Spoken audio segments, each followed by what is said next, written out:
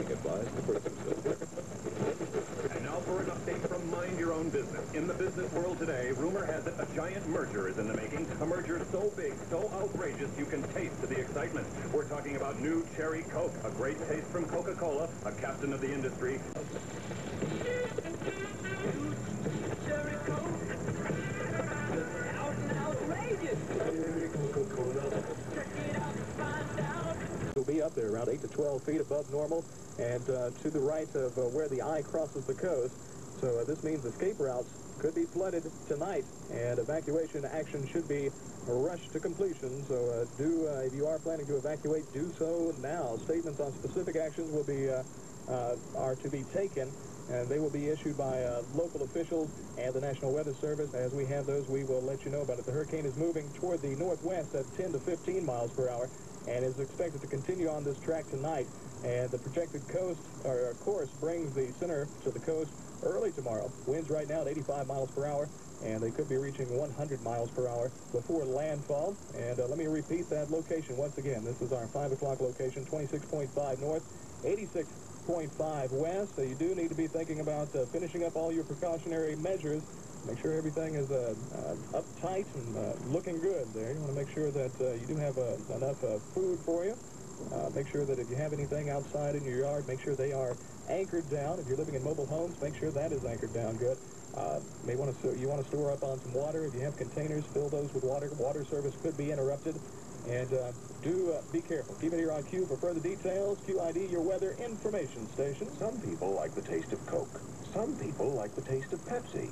But some people go out of their way for the taste of RC Cola. What you looking for, mate? RC. Oh, it's not here, Governor. You might try a Perry. Thanks, pal. Uh, which way to RC? Oh no, this is the city of lost love, not lost soda, stranger. Uh, go north, my friend.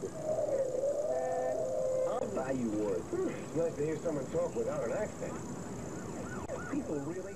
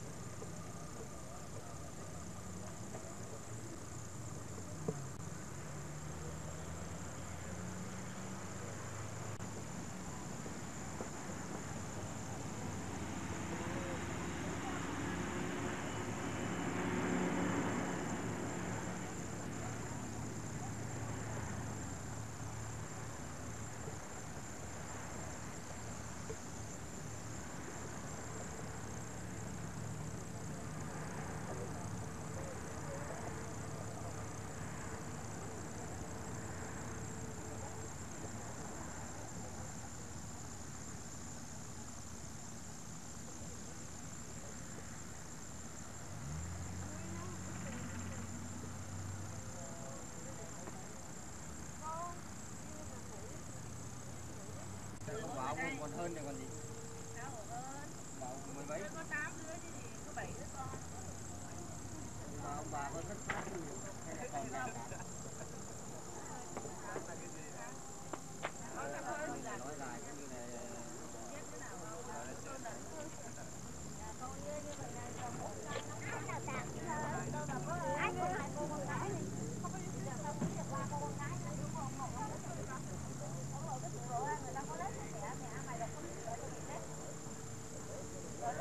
one.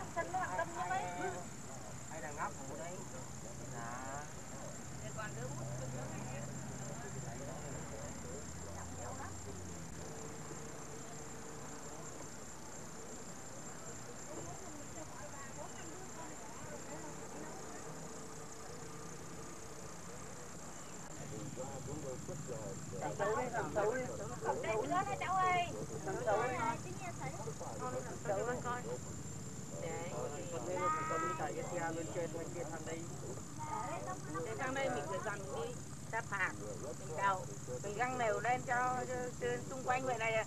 vô tình tổ chức quýt thích cái nhá.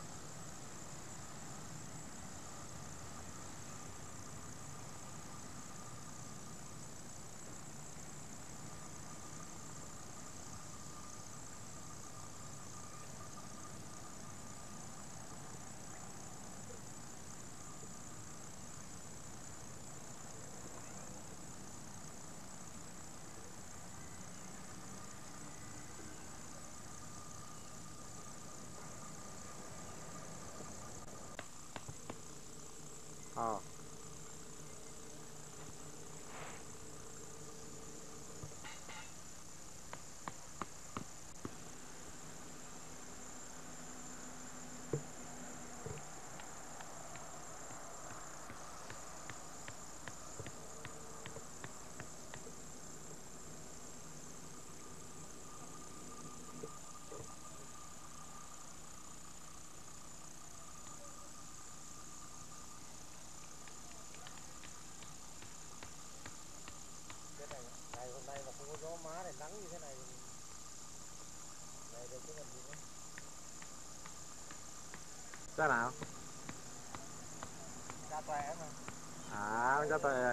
ตอนอะ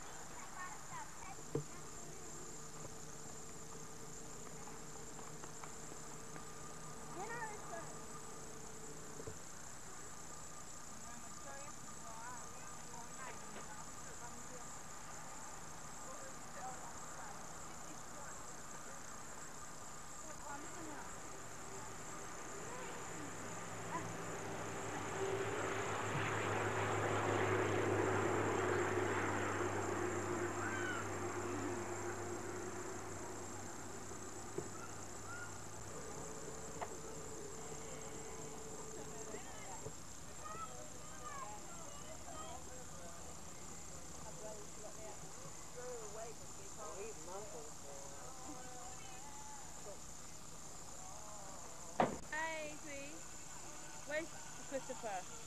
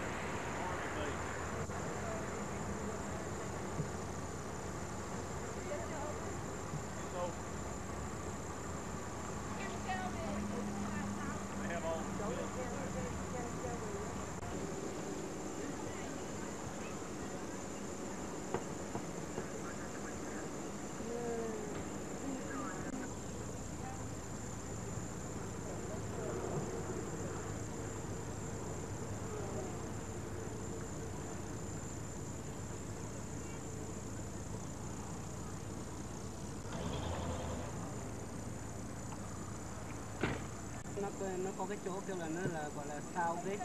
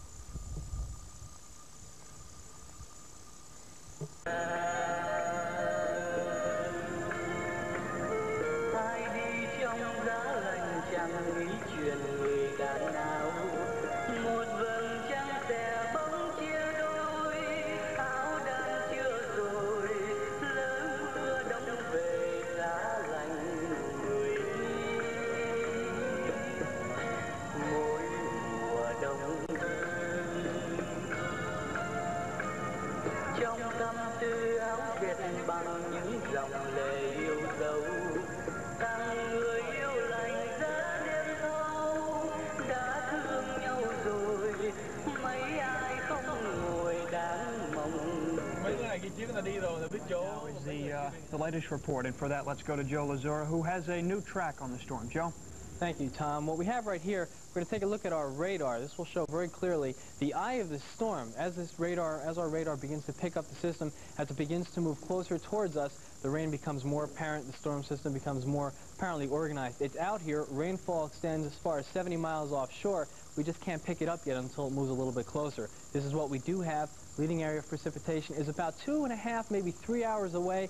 Light rain in the very beginning, and then the rain becomes more moderate as we go back a little bit further than the eye of the storm. But still, don't be don't be fooled here. There's a lot of precipitation to the north of this, back again to the east of it, and to the south. As I said, we just can't pick it all up right away, but as it moves closer, we'll begin to pick it up. Look for it to hit us probably in the next couple of hours. This is the way we have our satellite photo right now. You can see our storm system. This is how it is right now. You can still make out the eye of the storm. It's beginning to push towards us ever so slowly, but the problem here is that the track that we originally had planned, the system is actually moving a little bit to the north of that. So as the hurricane moves towards us, the chances of it moving closer to us is a greater chance as well. What we are watching, though, is the threat for tornadoes, and we do want to talk about it.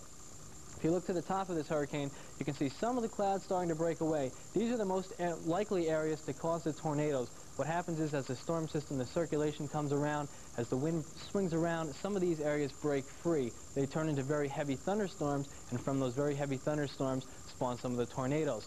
So what we were talking about earlier, Mike had mentioned the northeastern quadrant especially, that's where it's most prone for these areas to break free. That's where it's most prone for the tornadoes. So as this system moves to the west, this area where, they, where the clouds and the thunderstorms are breaking free will move towards us. So as you move up further inland, about maybe 50 miles to 100 miles inland, these thunderstorms will break loose and swing northward, so very heavy rainfall amounts can be expected, also some very strong lightning, strong gusty winds as well as these systems, and possibly tornadoes. We can probably expect some of those tornadoes to occur in our state as well as Alabama as well. The system is moving to the west ever so slowly. Here's our current, well, we have our 11 p.m.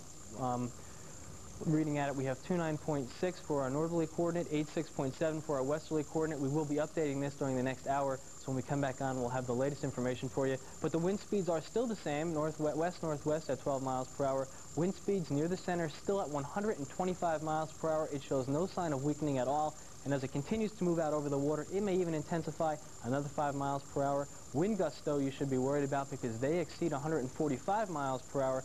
So as it scoots along the coast, it will be causing a great deal of damage. The warning area does include our entire state as well as all the way down to the southernmost tip of Louisiana and moving all the way back into Florida. Pretty much, well, for the most part, the threat is over for Florida. So as the night goes on, these warnings will slowly be lifted and they will be extended further northward. We will be watching it. We will be in the hurricane warning area for quite a while. We'll take a look now at what we have for our uh, other advisories mainly, well, we're going to see this in just a second. As soon as there we are, our projected path. Now, what we're talking about is a system moving just to the north of the projected path that we had earlier this evening, about 30 miles to the north, and while that may not seem that much over the water, as it become, becomes more closer to land, it will affect our area much more, so we'll have stronger winds than we originally expected, as the eye of the storm may even pass somewhere just west of Biloxi and the Gulfport area. We will be monitoring it very, very much.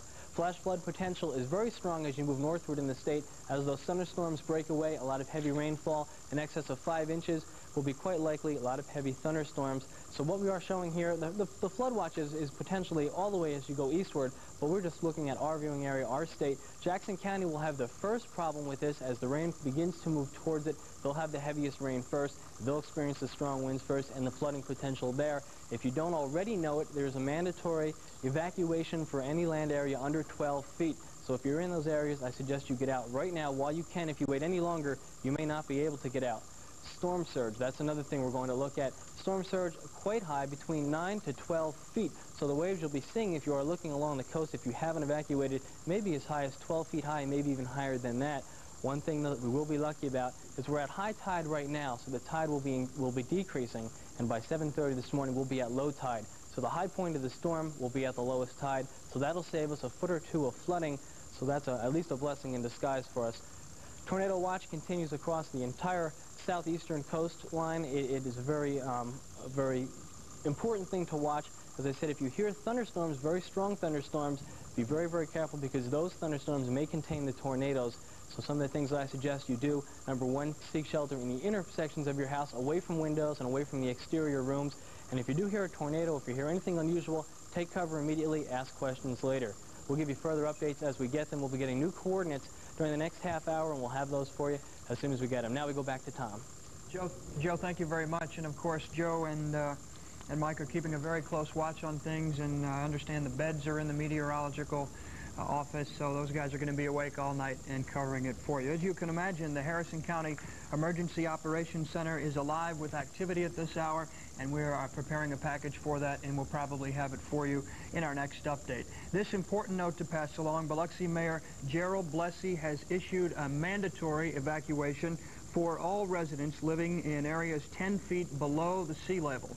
So if you're 10 feet below the sea level, you need to get out. It's mandatory, and if you don't know, if you haven't got out there and measured it, or you don't know how far below sea level you are, don't question it. Uh, move out. Uh, repeat, residents living in areas 10 feet below the sea level should evacuate to a nearby shelter. That is Mayor Gerald Blessey issuing that from Biloxi tonight. And again, uh, coming up in our next report, we'll look at some of the shelters. We'll take you, if you're in a shelter now watching us, we'll take you to some of the other shelters around the coastal area and, uh, and let you know exactly what's happening in the other shelters um, because you're locked in there, obviously, and you want to know what's going on. We're going to take you to the beach. We're going to take you to the waves coming in.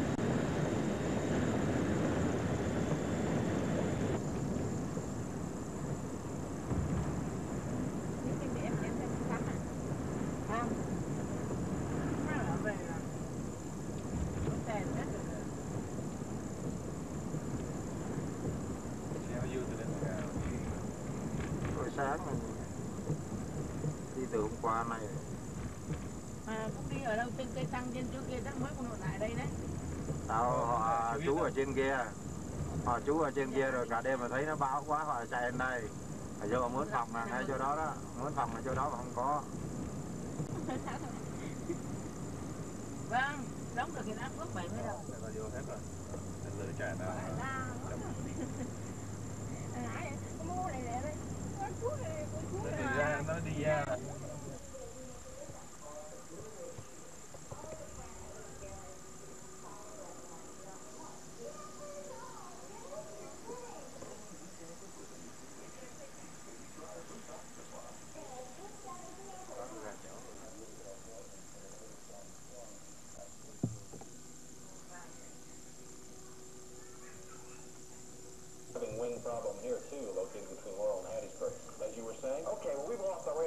With the power outage. Uh, the radar picture just fell out of the New Orleans area,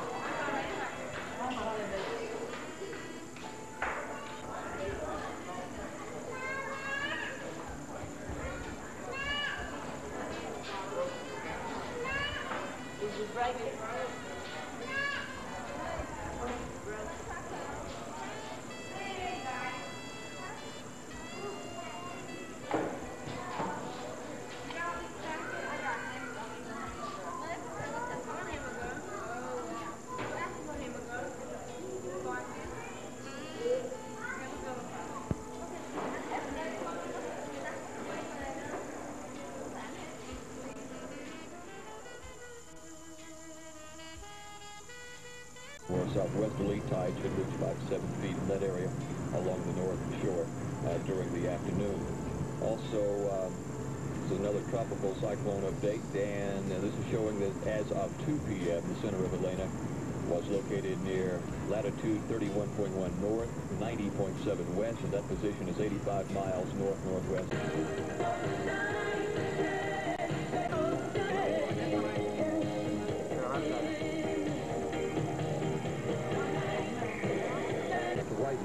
Christian residents may return to their homes. Uh, you must be able to produce identification at all checkpoints. There is a dusk to dawn curfew for Pass Christian. Also, city of Biloxi will be under martial law tonight after dusk and until dawn tomorrow. Also, Civilians stopped after dusk will be asked to show proper identification. If you are not able to do so, you are subject to arrest.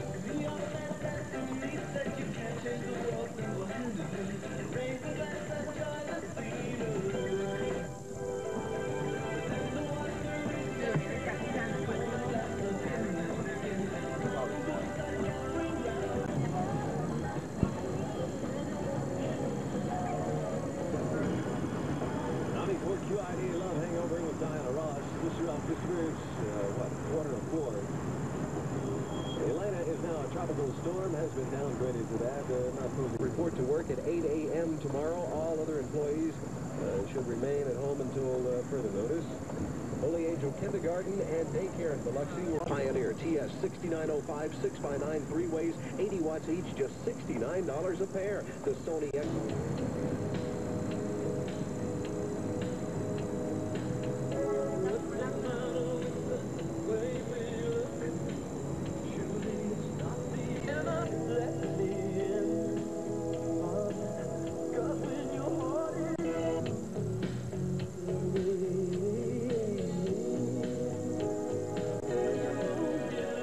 X. Ninety-four QID, your weather information station, and when you're Harvard.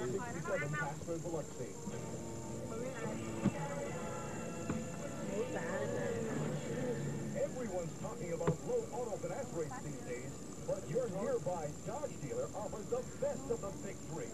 Better than When the yearning keeps returning for a tender, juicy bite. When you can't go another minute without chicken that's done right.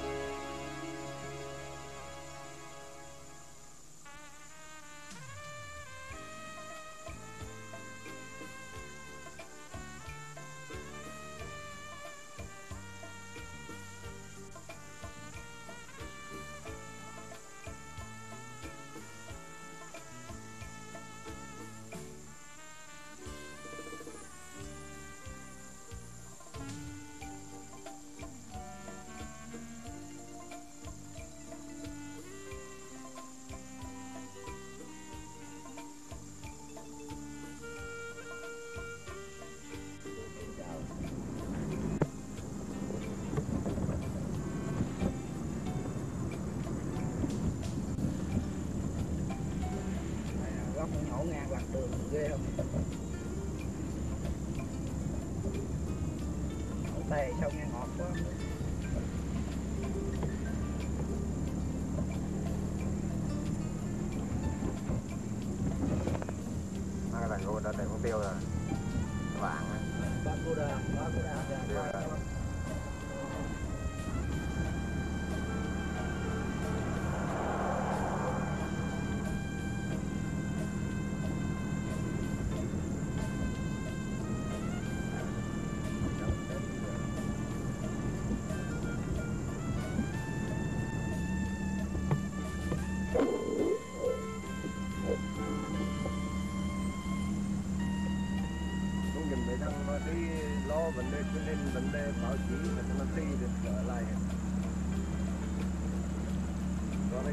mấy thằng à, phóng viên là đứng giữa cái cái bãi bãi gió vẫn nước, qua đâu thì mũi điện là nó đứng nó nói.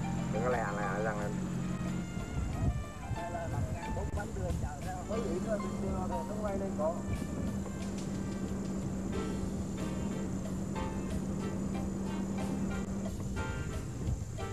chưa những bị ở về.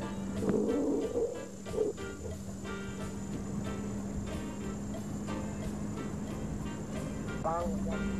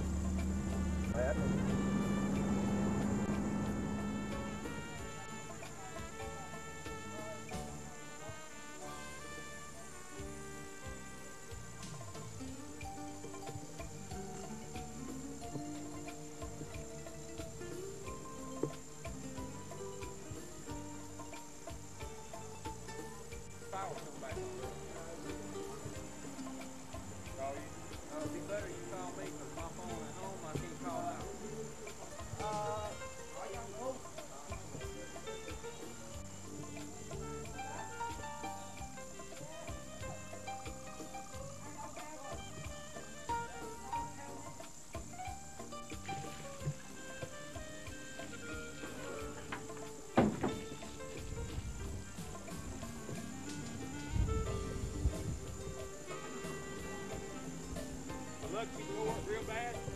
hả Look, you tore it real bad. dạ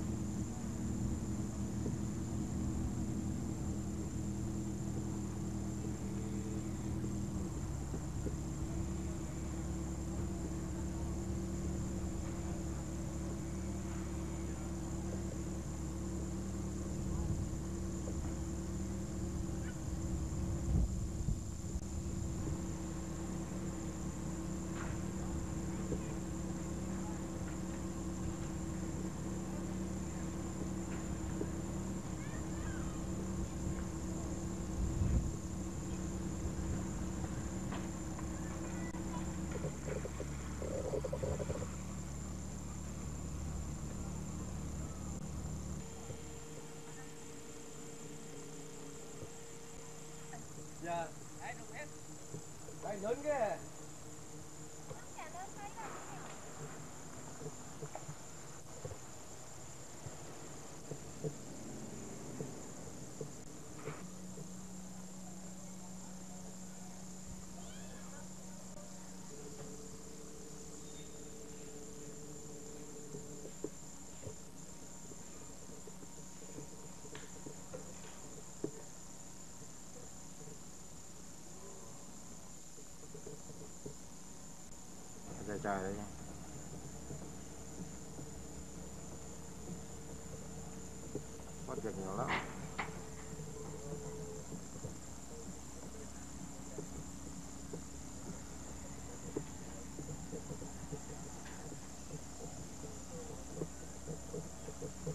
anh mới uh, à, thất nghiệp bây giờ sống lang thang đây là có việc nhà ui chặt cây chặt cối lập nhà này.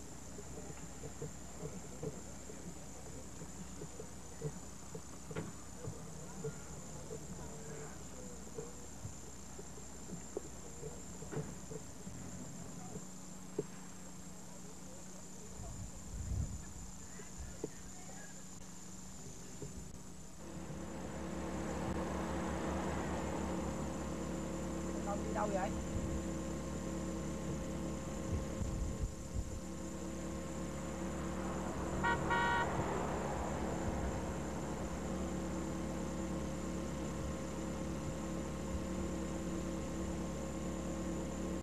Mưa về cũng là để bữa về.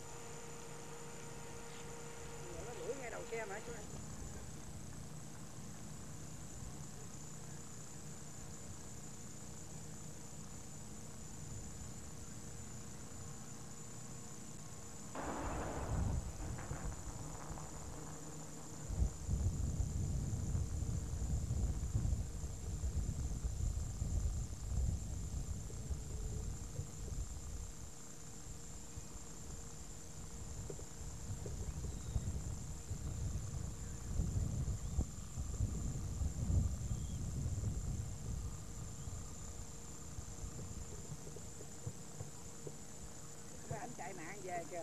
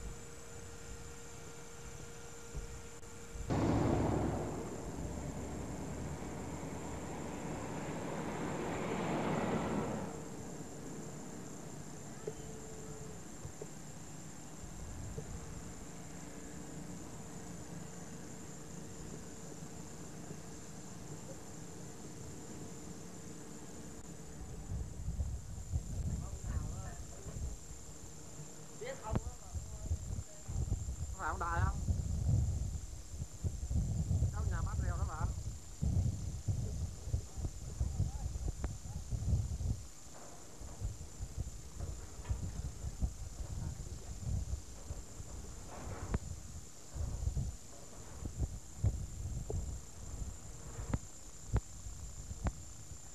Tặng như vậy mà nó còn đành chơi cái cái này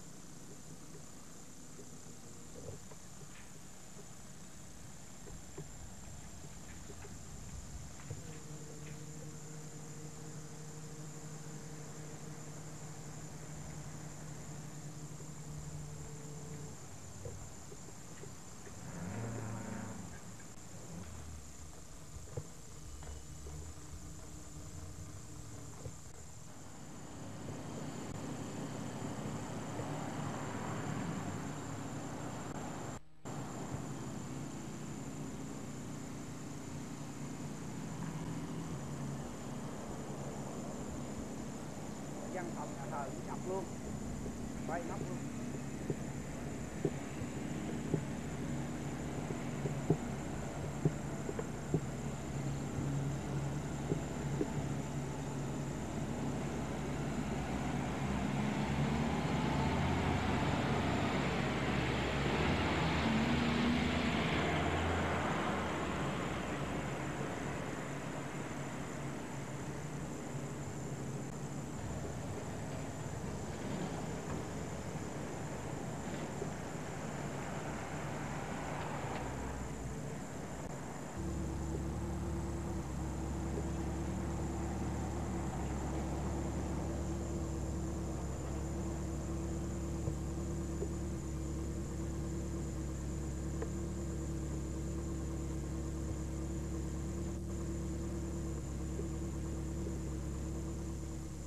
Up next, a hurricane batters the Gulf Coast as a photographer captures its fury.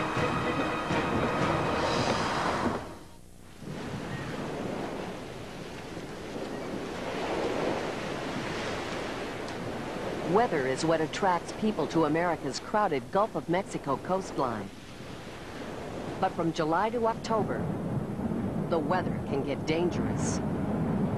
It's hurricane season, a time when some people take foolish risks. If people haven't seen what an impact is, it's difficult for them to relate to it. Billy Wagner's hardest job as a director of emergency management in Florida is getting people to evacuate as a hurricane approaches. If they don't, they could wind up dead. You can keep preaching to people that they're going to experience some type of storm surge or some type of wind effects without experiencing it themselves. The only way you can convey that is through video. So Wagner has teamed up with experienced hurricane chaser and cameraman Richard Horodner. Hurricane chasing is an extremely risky business. I wouldn't suggest other people do it. I do find it exciting. A chance to show the public graphic proof of a hurricane's deadly force came when a hurricane named Elena approached the Florida coast. Uh, Richard spends a lot of time at the Hurricane Center, so he's in a position to be in the location to capture the event as it makes landfall. What Horodner is planning to shoot as he leaves his home in Miami are images of Elena's storm surge. The extreme high tide that pushes seawater far inland as a hurricane approaches land. The majority of the deaths that are related to hurricanes are caused by the storm surge. To capture the true power of the surge, Horodner wants to put his camera on a barrier island, the narrow offshore strips of land, certain to be swept by the storm's ferocious tide. In 1900, when the barrier island of Galveston was struck, 6,000 lives were lost. Horodner doesn't want it to happen again. I was obsessed with getting tidal surge pictures on a barrier island because it was so rare. And I wanted to make a mark in my field, and I took chances that I won't ever do again. As Horodner heads north along the Florida Gulf Coast, he can't help but recall the worst hurricane to hit the Gulf of Mexico since Galveston, Camille, which struck at the start of his career. Hurricane Camille made landfall at night, making photography next to impossible. It was one of the few hurricanes that Horodner was glad he couldn't see. There would have been no pictures, and I might have died of fright. So it's just going to be, instead of fascination and fear, it's just pure fear.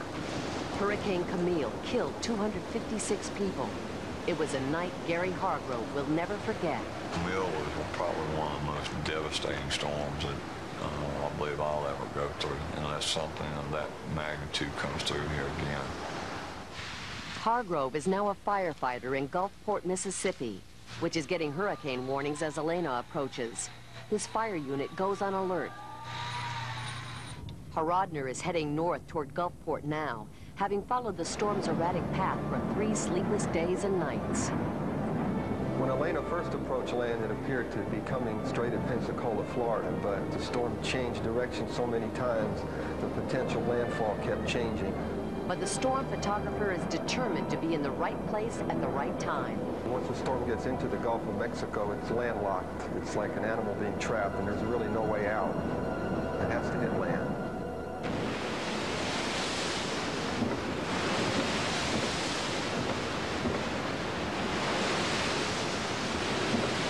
Rodner chases Elena as it swirls into Cedar Key, Florida. But the storm surge beats him to the narrow causeway, which is the only way onto the island. Arriving at Cedar Key as the storm was stalling 80 miles off the coast, it was sending about a four-foot tidal surge across the causeway. The bridges were impassable at the time. So Horodner must beat the storm to another island. He races northwest as Elena pounds the Florida coast. The storm photographer will have to cross another long, narrow causeway to St. George Island. But now, a storm-damaged bridge stands between him and his goal. The approaches to the bridges had been demolished by the surge, so all that was left was the yellow line down the middle. It's time for a life or death decision, to cross the bridge or not. Rodner gambles wrong, he'll be washed out to sea. When we come back, the hurricane photographer casts his fate to the winds.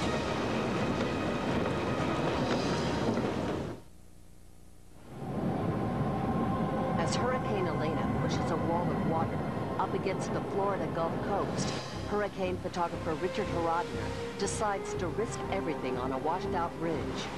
It's the only obstacle between him and rare footage of a hurricane overtaking a barrier island. If I was in any normal state of mind, I would have stayed where I was, but I was obsessed to getting the rest of the hurricane as it came inland.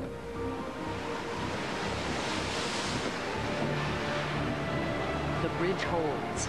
Horodner makes it across to find an eroding island. Devastating evidence of a barrier island's vulnerability in the face of storm surge. Finally, the road disappears into the rising ocean. He can go no further.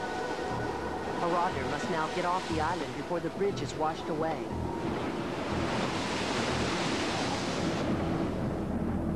Meanwhile, the storm is sweeping northwest toward Gulfport, Mississippi. Although residents have been told to evacuate, not everyone is heeded the warning. So emergency personnel like Gary Hargrove prepared to go face-to-face with Elena. We knew that we were going to be getting the brunt of the storm. We saw a few window panes blow out. We saw a couple signs bust loose and blow to pieces. The limbs breaking off the trees.